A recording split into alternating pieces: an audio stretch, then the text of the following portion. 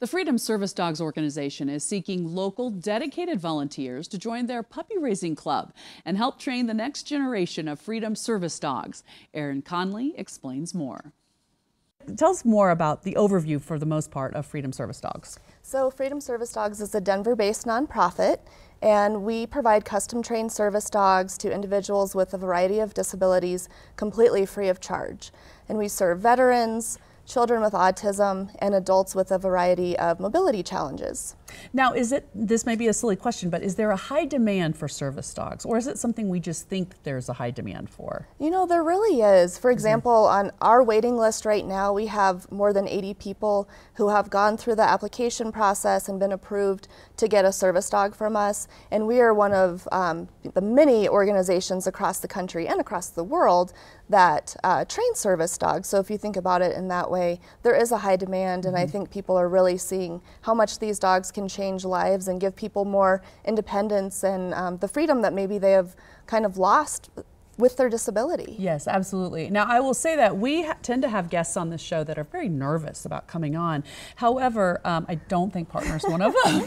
no, he's, you know, he is he such just basically fell asleep right here in the studio. Can you tell us a little bit about him? Well, Partner is about five months old, oh. and he is in the early stages of training to become what we hope will be a service dog. And so far, he's doing really well.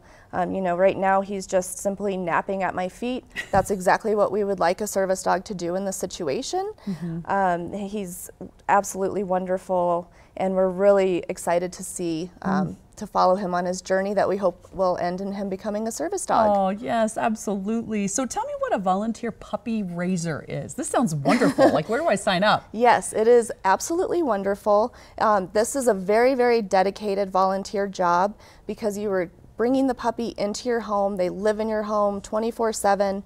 Um, for sometimes it can be as long as seven months. Okay. Um, there's a lot of training that uh, is expected, so you're coming to Freedom Service Dogs to get training and make sure that your puppy is up to snuff and meeting all their milestones. Um, so it, it, does take an extra special person who's dedicated and willing to do that because of course what we hope is that the puppy will become a service dog and then you have to say goodbye to them and send them off on their, their new career. Um, so that's difficult but it's also extremely rewarding to know that you've played a part in changing someone's life.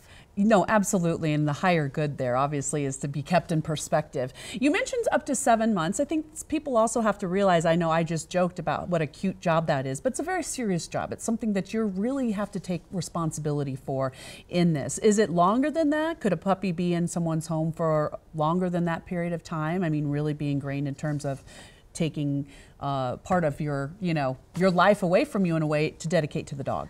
I mean, potentially. It, it does kind of vary. I would say seven months is about the average. Okay. But the good news that I should mention is when you get the puppy, they're um, about five months old, sometimes between five to seven months. Oh, okay. So they are generally already housebroken crate trained and they have some basic obedience. We work closely with our partners with the prison trained canine companion program. So they provide that foundation for the puppies so that when our volunteer puppy raisers get them, they have a little bit of experience. So we're not handing you okay. an eight week old puppy. that makes puppy. sense. All right, see, because I kept thinking, wow, only seven months, that's not a long time. But if you don't get them until they're almost that time, then that makes more sense. Okay, so what do you say to someone out there thinking, all right, I want to be a volunteer puppy raiser or I want to just be involved with this program or support it in some way?